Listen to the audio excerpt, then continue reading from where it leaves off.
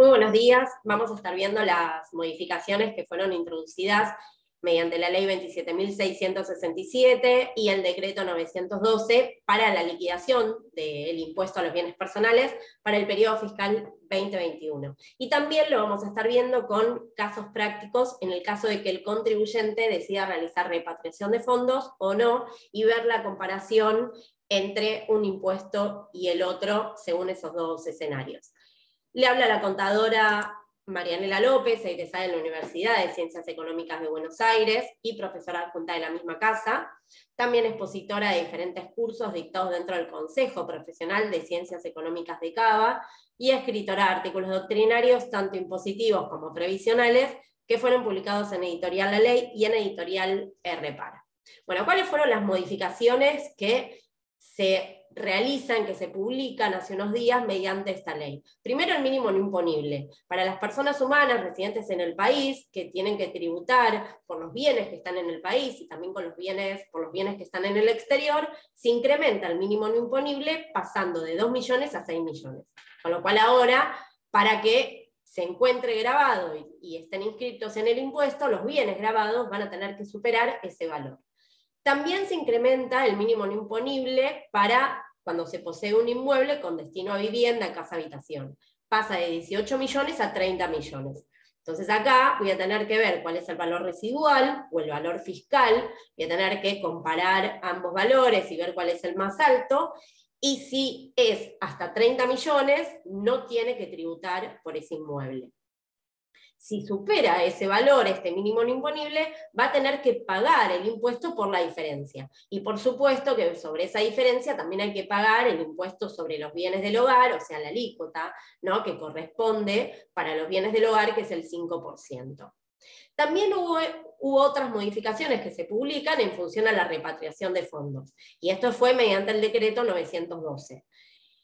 Lo que sucede es que eh, cuando el contribuyente tiene bienes en el exterior, tiene dos posibilidades. La primera posibilidad es que realice la repatriación de fondos y acaba de tener plazo hasta el 31 de marzo de este año para traer del exterior al menos el 5%.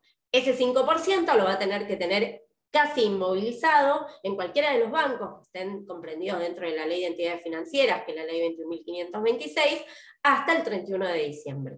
Si hace la repatriación de fondos de por lo menos el 5%, todos los bienes, tanto en el país como en el exterior, tributan a la alícuota de la escala de la tabla escalonada y progresiva de la ley, que también fue modificada. Caso contrario de que el contribuyente decida no realizar la repatriación de fondos, y esto es lo que viene pasando durante estos años, porque entre la comparación de tener que pasar una incertidumbre con el dinero que traemos de afuera acá al país y que no se sabe por ahí qué puede llegar a pasar con esta, eh, teniendo esta contingencia, hasta ahora la experiencia que hemos tenido es que la mayoría decide no repatriar. Entonces, al no repatriar, se tiene que abonar la alícuota incrementada por los bienes que poseen el exterior. Y esta alícuota incrementada había sido originalmente publicada por el decreto 99 en el 2019. Entonces, lo que incorpora este decreto 912 es que tenemos tiempo de repatriar hasta el 31 de marzo. Por lo menos hay que traer el 5% del efectivo que tenemos en el exterior, lo traeríamos acá al país y lo mantendríamos en cualquiera de los bancos que estén comprendidos dentro de la ley de entidades financieras hasta el 31 de diciembre. Acá lo que voy a tener que tener en cuenta bueno, que voy a, tener que abrir una, cuenta en, un banco, que puede ser una caja de ahorro, cuenta corriente, plazo fijo o cualquier otra similar. Las nuevas alícuotas, esta nueva tabla se aumenta porque veníamos teniendo hasta 18 millones. Bueno, ahora ya nos vamos a 300 millones, con lo cual hasta 18 millones en adelante sigue manteniendo la misma alícuota y los mismos montos fijos, pero se agregan más valores eh, y más escalas al momento de tener que hacer la liquidación, siempre que tengamos bienes grabados que superen los 18 millones, voy a tener que seguir hasta 300 millones. Y después vamos a tener la alícuota incrementada para los residentes que tengan bienes en el exterior. Y acá es donde dice este nuevo decreto que se publica, es que se sustituye a partir de, siempre hablando de este periodo fiscal 2021, el segundo párrafo del artículo 25 de la ley 23.966, que es la ley de bienes personales. Entonces lo que hace es incorporar esta alícuota incrementada en la medida de nuevo en que no se realice la repatriación de fondos. Ahora, ¿cómo voy a calcular para saber qué alícuota aplicar en el caso de no realizar repatriación?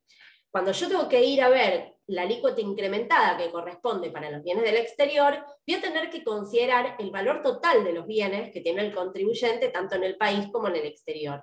Y ese conjunto de bienes lo voy a ver en esta escala para ver a qué alícuota corresponde. Si está, por ejemplo, que tienen bienes totales más de 18 millones, bueno, la alícuota que aplicaría es 2,25 solamente sobre los bienes del exterior. Vamos a ver dos casitos. La misma persona humana tiene bienes en el país y en el exterior al 31 de diciembre. En el primer caso no hace repatriación de fondos y en el segundo caso sí. Entonces vamos a ver esta diferencia de impuesto que tiene que pagar. En el primer caso, para el 31 de diciembre, tiene dinero en el exterior por 10 millones. Y en el país, entre la suma de dineros y bienes que son grabados, 16 millones. Así que sumarizan 26 millones.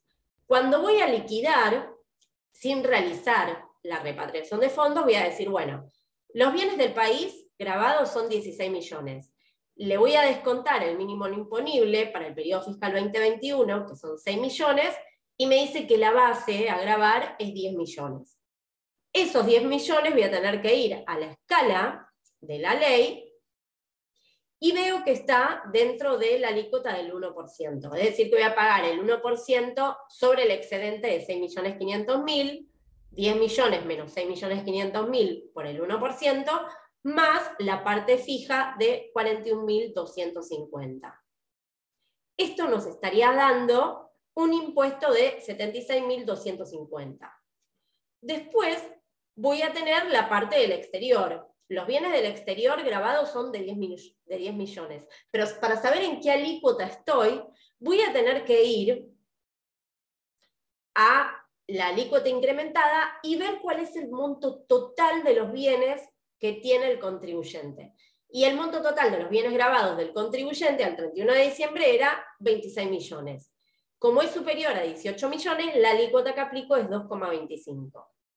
Así que esos 2,25 se lo aplico a 10 millones y lo que voy a tener que pagar de impuestos por los bienes del exterior es 225 mil. Totalizaría un impuesto de, 300, de 301,250, en principio el impuesto determinado. Después a esto hay que tener en cuenta que si pago un impuesto en el exterior, tenemos este beneficio del tax credit, entonces ese impuesto que paga afuera se lo puede tomar a cuenta del impuesto que tiene que pagar acá en el país sobre el impuesto del exterior y siempre hasta el tope, ¿no? Hasta lo que haya pagado acá en el país. Es decir, no le puede generar un saldo a favor. Si le generaría un saldo a favor, lo tiene que perder. No pagará impuesto por los bienes del exterior, pero el contribuyente lo va a tener que asumir como un costo. Así que ahí también es importante que puede tomarse este pago cuenta. Y después de este valor también descontará los anticipos que haya ingresado. Ahora voy a suponer el mismo ejemplo, pero diciendo, bueno, hasta el 31 de marzo el contribuyente tiene tiempo de realizar la repatriación de fondos. Y el 15 de marzo decide traer por lo menos el 5% del efectivo que tiene afuera, lo trae acá al país. Entonces ya la situación cambia y dice, ese 5% lo va a tener acá en el país en un banco. Como dinero en el exterior, ahora le queda 9.500.000 porque la repatriación correspondían a 500.000. Y como dinero y bienes grabados dentro del país, le queda 16.500. El valor total es el mismo, 26 millones. ¿Cómo va a tener que liquidar? Bueno, acá no tomamos en cuenta la alícuota incrementada y solamente vamos a grabar todos los bienes por la alícuota general de la ley. Entonces voy a decir, bienes del país, 16.500, menos el mínimo no imponible de 6 millones, 10.500 grabado. Del exterior, 9.500.000, el total grabado, 20 millones. los 20 millones los voy a llevar a nuestra alícuota general de la tabla y me dice que está grabado en 1,25% sobre el excedente de 18 millones con un valor fijo de 156.250. Quiere decir entonces que el impuesto que va a tener que, en principio, ingresar va a ser 1,25 sobre el excedente de 18 millones con 20 millones, más el monto fijo de 156.250. Así que fíjense en la diferencia que el impuesto determinado es 181.250 en comparación con este impuesto que tendríamos que ingresar la alícuota incrementada. La realidad es que esto lo va a tener que ver el contribuyente con el profesional para evaluar qué es lo que le, conviene, teniendo en cuenta esto, de que al no repatriar, al no traer efectivo del exterior acá, se tiene que, se tiene que pagar un superior impuesto que si realizáramos la repatriación de fondos. Bueno, hasta acá llegamos con esta novedad, así que nos encontramos como siempre la semana que viene. Muchísimas gracias por su atención.